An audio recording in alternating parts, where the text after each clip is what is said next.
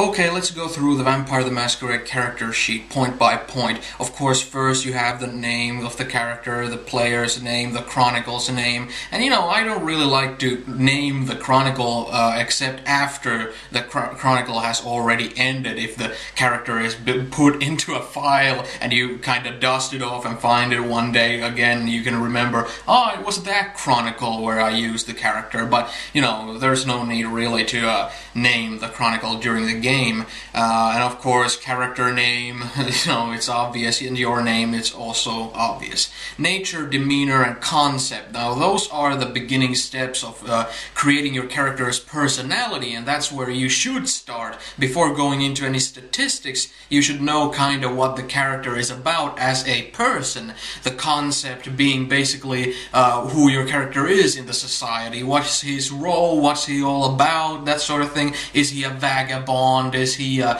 is he a computer engineer? Is he uh, is he a taxi driver? It doesn't always have to be like his job. It can be like a, a struggling single mother or something like that. Whatever you want to uh, uh put there, but it's a good thing uh, to start from. And then nature and demeanor are something that uh, White Wolf has put on basically all of their uh, games. And uh, nature and demeanor are interesting. They are basically who you are inside yourself, really, in your inner self, uh, being the nature, and demeanor, how you present yourself to everybody. Because the way you present yourself to everybody is not always and often is not the thing you would be uh, inside yourself, the, uh, the thing that you kind of bring out only to those who. Um, when you're not trying to bring out any effect in people, that sort of thing. Like somebody who could be like a really like full of themselves as their demeanor, their demeanor being that they're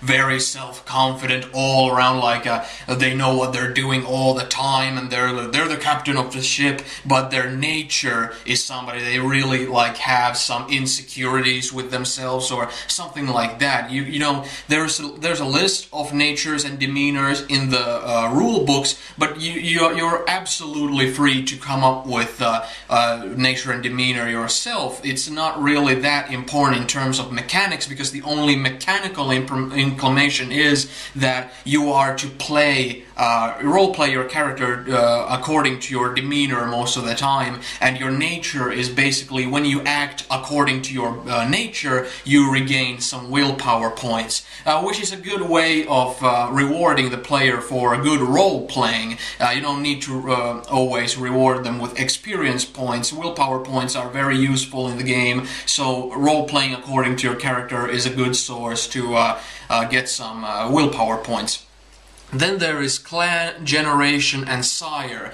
And uh, of course, in Vampire, you have multiple clans from which to choose from and uh, these are not exactly like say classes in uh, fantasy role-playing games or stuff, stuff like that but these are uh, intricate points um, in character creation. And it's not only about you know what sort of uh, uh, what sort of character did you would you like to do in terms of uh, what you want to specialize in in terms of your abilities and such. It's it's much more of uh, going into the fabric of the vampire society. Each clan is like a sect. It's like a, a social group. It's like a, a, a little family type of thing. And it's not really all that much about the disadvantages disadvantages and advantages of being in a, a, specific clan. It's more about the social aspect of it. What does it mean uh, to have uh, to be of a certain clan when the uh, uh most powerful people in your city are of another specific clan? That maybe they have some history uh, that's that they maybe they have some gripe or something like that. It, it could easily be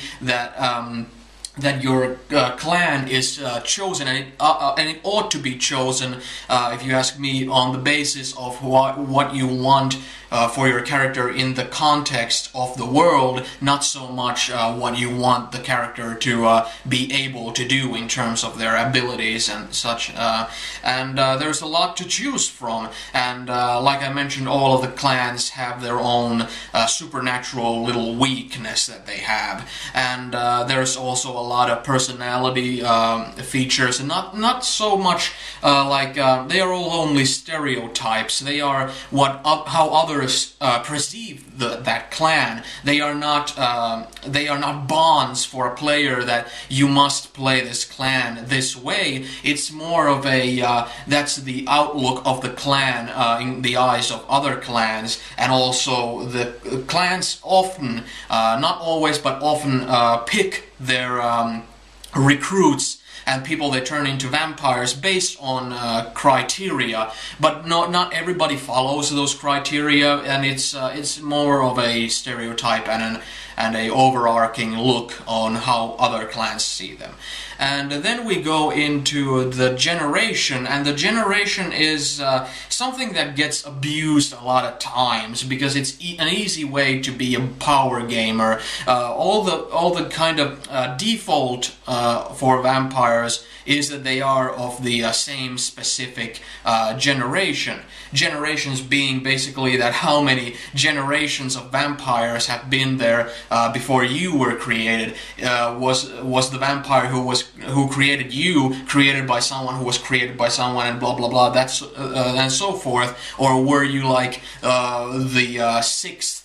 Uh, vampire to be created in that bloodline of uh, vampires being uh, vampires creating other vampires. And uh, the shorter the generation is the more powerful you are. Uh, basically meaning the less um, uh, the more uh, potent the blood is when it's when it hasn't gone through generations and generations. And uh, you can easily buy your character very cheaply you can buy your character to be of a um, of a, uh, a, smaller generation but then again it's it's it should be more because it is so cheap to be uh, uh, to be able to be of a, a smaller generation. It's uh, it's something that should be uh, more about the character that it's uh, that it's a distinctive feature on the character to be of that generation and not that it's uh, a, just an easy, cheap way to be more powerful. And uh, then there's the sire, and that is basically just naming whoever made you into a vampire. And that is simply just a note. Uh, that's not... Um, that's not that important uh, in game terms. Uh, you know, you can just, you know, just as easily you can write it down at the back of the character sheet or something. Basically, you can just write uh, Joe Blow there if that's the sire's name or something. Next, it's the attributes, and these are uh, uh, put into three different categories, and those are the physical, social, and mental attributes. And attributes are all from 1 to 5, and I think that is a very simple way of putting it. That basically means that that is the uh, uh, rate on where a human can be. If your, uh, let's say your strength is 1, that is the minimal a human strength can be without uh, being unable to basically lift your own body up. And that is why all of these attributes are uh, already in the character creation process at 1. They can't be less than 1 because like if strength would be less, uh, less than 1, you wouldn't be able to hold your own body up. You would be basically, I guess, wheelchair bound. And of course, that could be implemented in role playing uh, uh, somewhere in there. But you know, that's that's that would be uh, differing from the norm very much and of course five being the absolute maximum that a human can be. You know, uh, of course, uh, the uh, something like uh, strength, uh, physical. Um, uh, physical records of, of people beating the top record of lifting a specific weight or something of course keep getting higher and higher as the as time goes on but still the strength is about how much you can lift and carry you know if you can just you know deadlift uh, a certain amount, it's not the same as being able to hoist that amount on your shoulder and uh, and uh, carry it to uh, to somewhere or something like that.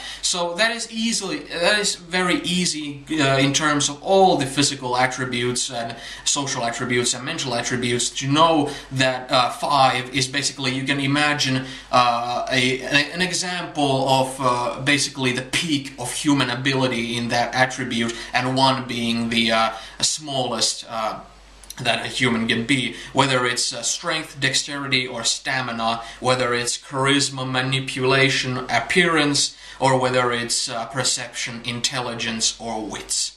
And uh, after that, uh, oh, oh, I want to men mention that, of course, there is one attribute that can be in zero, and that is appearance, but that is a supernatural feature. Only the clan Nosferatu can have their appearance at uh, zero or uh, any character who has the supernatural flaw of being monstrous, then your appearance is not just that you're ugly, it's that you are terrifyingly ugly. You are supernaturally ugly. No human can be at appearance zero. Only supernatural beings are able to be that. So remember that when you make a Nosferatu character, they are supernaturally hideous more hideous than any human ever could be. And um, Yes, let's go to abilities next, and they are also branched into three categories, and they are also from 1 to 5. Now, abilities are not uh, at 1 in, at the beginning, because of course you can easily have, like, you've never uh, driven a car, so of course driving is uh, uh at 0 for you. And these are not uh, put into categories of physical, social, or mental, and they are not like that, that clear-cut uh, lined up with the attributes. These are in the categories of talents, skills, and knowledges. Talents being your natural uh, innate abilities that you can uh, uh that you can uh, train to be better at. Skills are learned abilities such as driving a car or or uh, or performing on the stage or or or handling animals or something like that. And knowledges are just that. They are usually book learned um, abilities.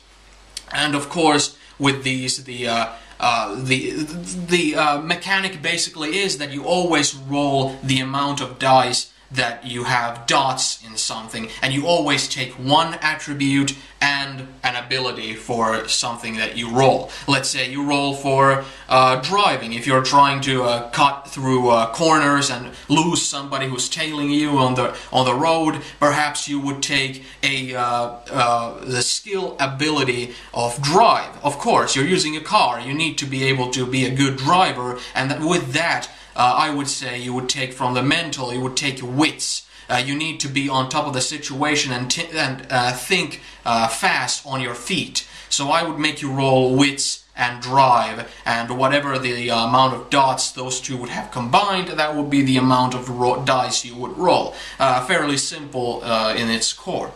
And uh, of course, there are stuff like, let's say, linguistics is something that differs from the others in the form of uh, one dot in linguistics means that you master one extra language. Uh, so if you have, even if you have linguistics one, you can speak in uh, a, a, chosen language uh, and write that chosen language as uh, well as somebody who would speak that as their mother tongue.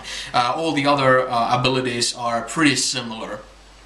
Uh, then we go to advantages, and there is disciplines, there is backgrounds, and there is virtues. Now these are interesting. Disciplines are the vampiric supernatural abilities. These are the quote-unquote superpowers of the vampires, and I really like some of them, uh, especially the more classic ones, like being able to uh, uh, uh get absorbed into shadows and, uh, and disappear from sight, or or turn into a wolf, or or or or any anything like that. But of course, uh, this is uh, there. There are so many clans and so many superpower disciplines uh, to to be learned that there is so many choices that they uh, sometimes uh, seem like uh, vampires just have superpowers like superheroes do, kind of like having goth superheroes, basically, or supervillains, or whatever.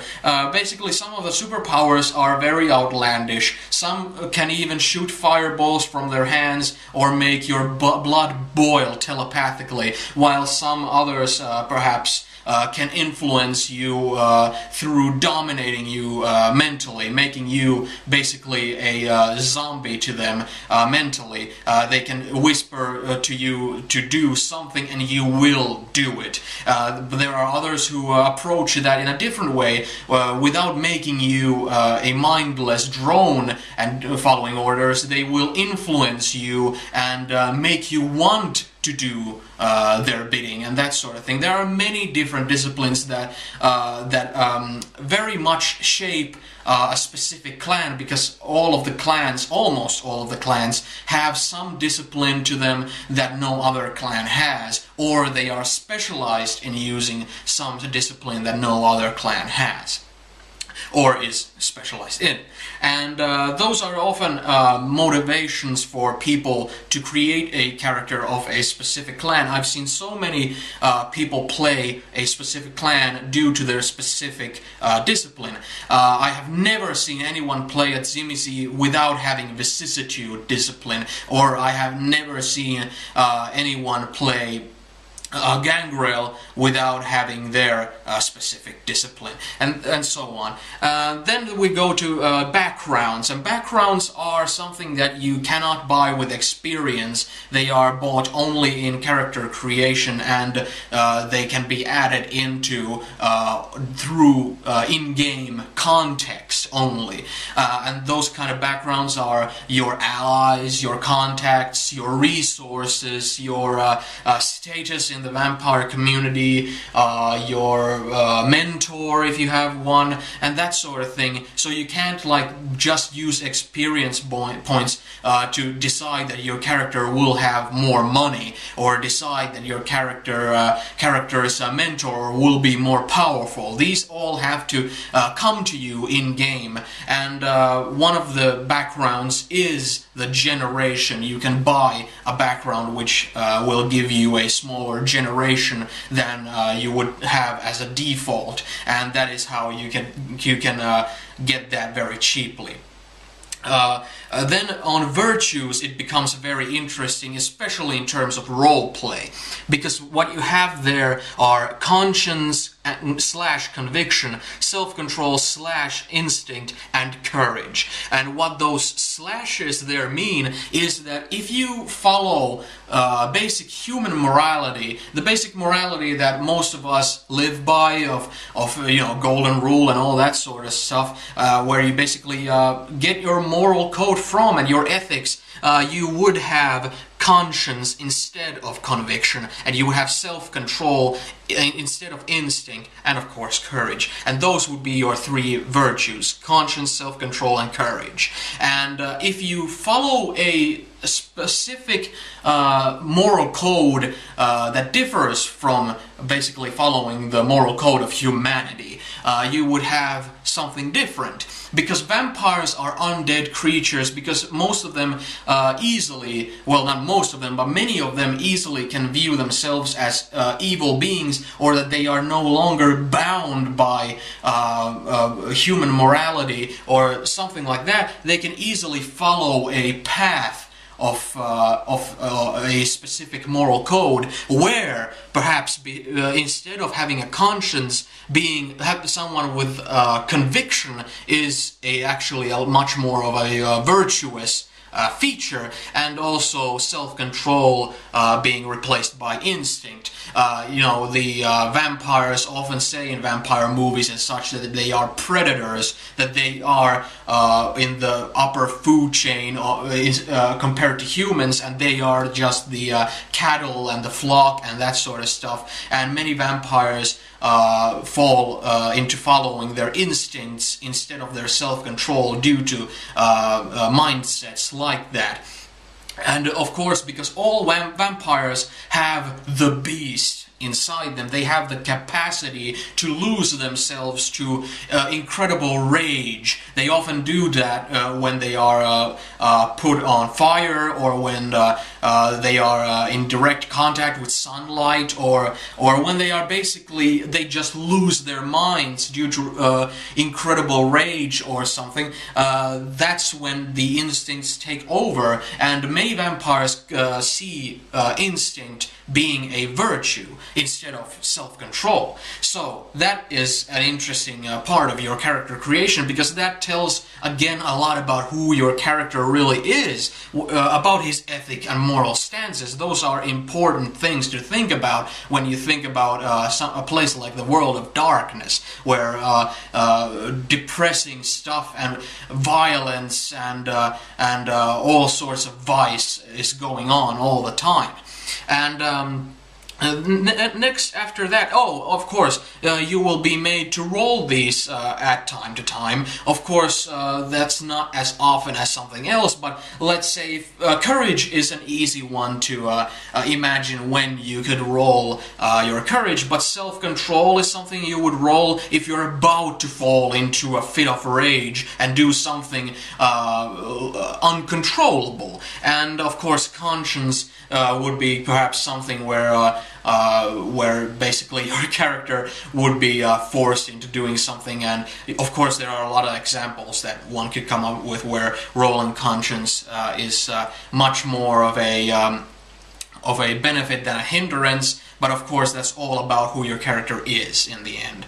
Uh, next, after that, let's go to uh, uh, the merits and flaws here on the second level. Merits and flaws are very self-explanatory, very easy to understand. You can pick out basically merits or flaws. You can pick out uh, features for your character that are either negative uh, and and hinder them in some manner, uh, or you can pick out uh, merits that uh, help them in some manner. You know, and of course, uh, almost all of the vampire clan uh, weaknesses are also available as supernatural flaws. You know, normal flaws can be something like uh, perhaps that. Um, uh, your character is uh, very short, and uh, merit would be that he's very big. Those are basically, uh, th there is no social inclination to those that, let's say, if you're very big, people would uh, perhaps be more afraid of you, and if you're short, people wouldn't be afraid of you as easily. Those are mainly just in physical sense. and um, but there's a lot of stuff that you could uh, play with in there. And uh, even though it's not mentioned in the books you can of course go off track and do something like that. It, it gives somebody who has the merit of huge size give them perhaps uh, a lesser difficulty sometimes when they're, do when they're doing intimidation rolls and perhaps raise the difficulty if somebody who's really short is trying to intimidate somebody who's tall or something like that you know. Uh, but the supernatural uh, flaws um, I really like it that there are many uh, of those that are also character uh, clan uh, weaknesses. For example, what I talked about with the appearance of, uh, of the Nosferatu clan, uh, that is also a, a supernatural flaw, the flaw of being monstrous. Can you imagine another clan other than Nosferatu having the exact same effect on people where they are so hideous that they inspire imagery of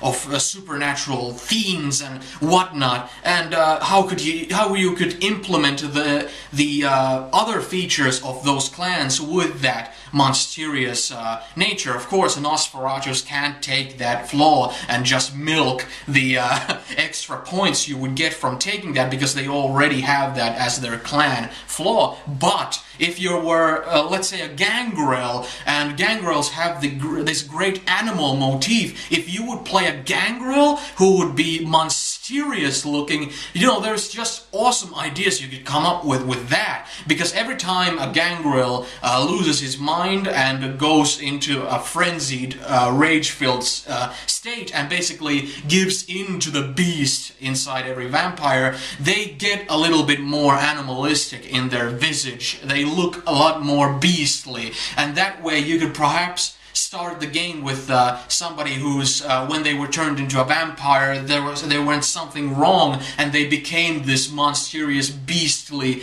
uh, creature and uh, all that sort of stuff. I really like that. Also with uh, one flaw is um, it's uh, called the derangement. You can pick any clan and have a deranged character. That is why I often talk about why Malkavians aren't only about the, the fact that they are insane and they should be uh, played with uh, more kind of um, gusto than just uh, uh, concentrating on the fact that they are insane because you can be a Brujah and have the flaw of uh, derangement and be insane. The Malkavian could use his uh, uh, superpowers of turning someone insane and now they are insane, but they're not Malkavians, you know, that sort of thing. So you could easily be someone who's insane, monstrous, and not of clan Nosferatu or Malkavian. You know, so don't make the clan flaws uh, the main uh, distinct feature about that clan. Uh,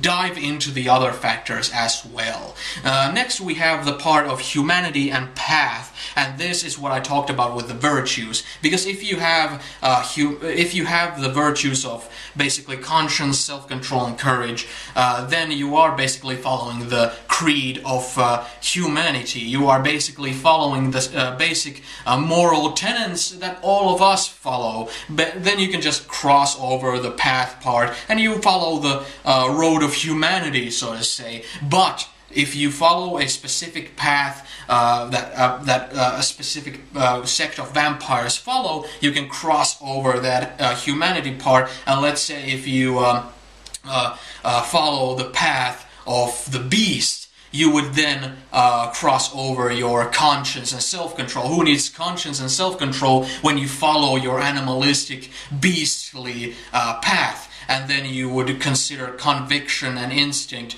uh, to be your virtues. And the uh, and the uh, uh, ranks on your virtues, your con. Let's say if you're following the road of humanity, then your conscience and self-control added together is the rate uh, of humanity that you have. And I really like that. It makes a lot of sense uh, for somebody to uh, consider how much do, does this person have self-control. If they have little self-control, they might be somebody who just uh, in a blink of an eye will pull out a uh, stiletto or something and just go and stab somebody. Or if, if they lack conscience, um, uh, would that mean that if they see a child suffering, they wouldn't care as much? And those combined being the humanity, it's easy to see how that character's humanity would be very low. And also, humanity goes uh, upward or downward based on your character's actions in the actual role-playing context, and I really like that.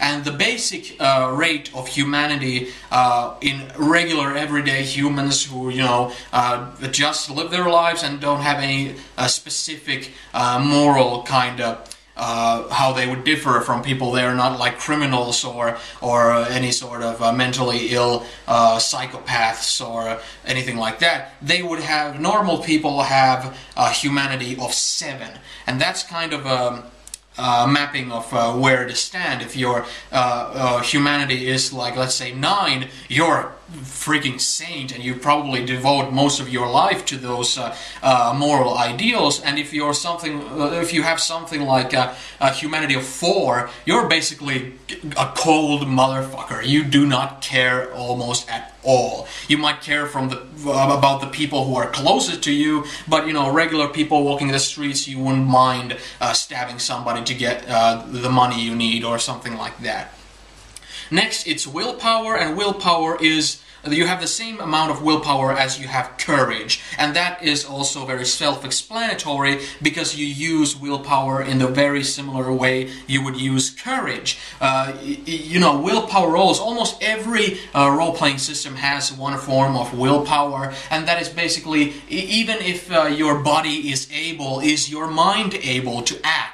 Uh, you know, you don't need to be a trained ninja to uh, defend yourself against some something that's scary or to get yourself out of a situation where uh, things are very uh, scary or uh, desperate. If you're if you're you're doing and also um, well also, you can use willpower points uh, to get yourself additional uh, uh, uh success in your die rolls, uh, in, in regular die rolls. But yeah, that's pretty much what, what I can say about willpower. yeah, it's mind over matter, that sort of thing. And yeah, the, then the next part is blood pool, and blood is the fuel of the vampires. In many World of Darkness games, different creatures have different sort of uh, uh, equivalents of blood, uh, like werewolves have a spiritual power that they use called gnosis